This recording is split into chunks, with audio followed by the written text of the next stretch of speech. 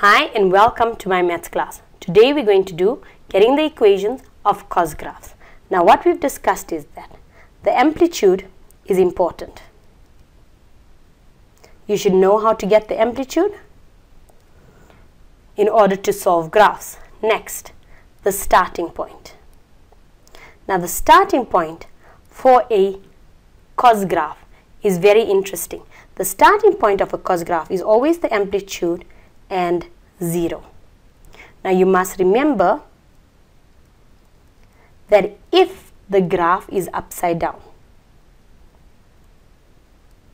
then remember we have a negative in front of the amplitude and the starting point in that sense would also be negative. Now let us look at the following graph. How would I get the amplitude? The highest point here is a half. Minus, minus, the lowest point is negative a half. So which means I've got 1 over 2 which means my amplitude is 1 over 2. But notice this graph is upside down.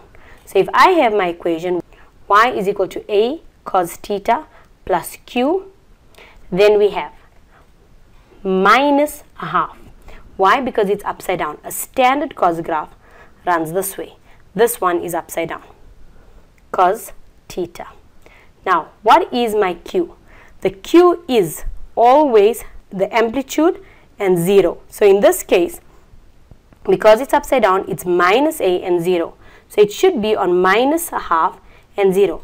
It's starting on minus a half and 0, which means it didn't move.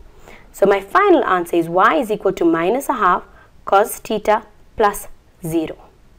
Thank you for watching.